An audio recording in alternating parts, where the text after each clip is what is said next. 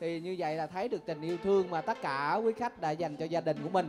Xong rồi bây giờ chơi tới bến chị mười ơi! Chơi tới bến. Ngày mai cũng bị phạt đâu dù tình anh ra khơi nhưng em còn mãi đây. Còn mãi đắm nuôi trong giấc mơ khờ dài dù em lẻ loi trong căn phòng hôn vắng nguyện cầu em